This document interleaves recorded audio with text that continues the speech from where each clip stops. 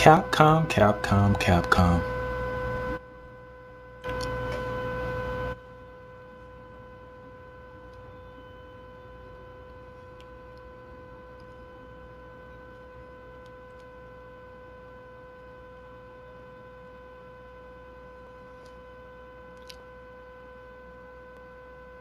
What are you guys thinking?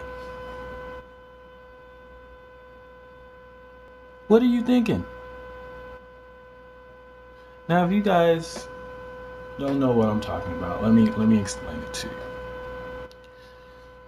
Okay, Resident Evil 3D Mercenaries, a game coming out that a lot of people wanted to get for their 3DS.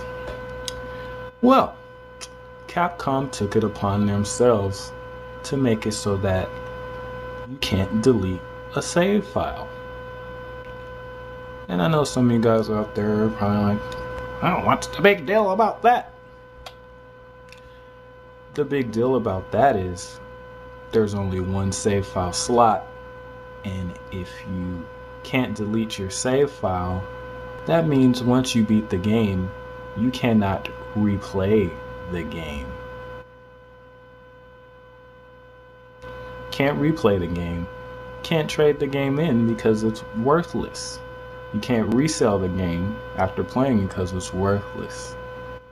And a lot of uh, retailers are already getting hit to this because, one, you cannot, the trade in of this game to GameStop will get you zero. You can't trade it in you can't even rent the game anymore from Gamefly because once whoever has it right now beats it, it's unplayable.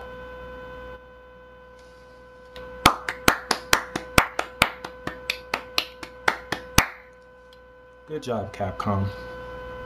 Now, the reason why Capcom is probably doing this is because they want to pre- prevent the uh, second hand reselling and you know what? That's fine. I i don't care. I don't even buy i don't buy games used. If i do buy used it's dirt cheap. I'm talking under ten dollars five dollars dirt cheap. I like my games new.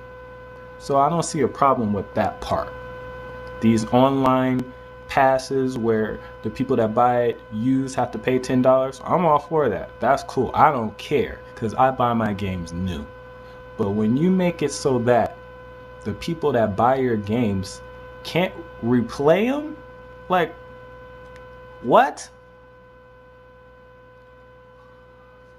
Come on, Capcom. You must be tripped. You uh, know, first of all, the game was already pretty much a bone. Like this this is what really upsets me about the game. It's not like this is some 60 hour, 40 hour epic game.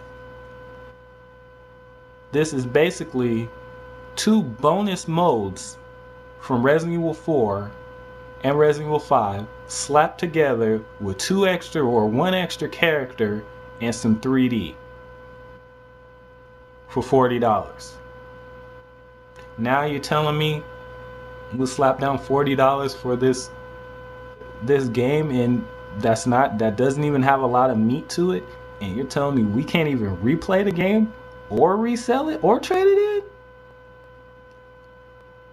Guess what capcom? I'm not buying the game.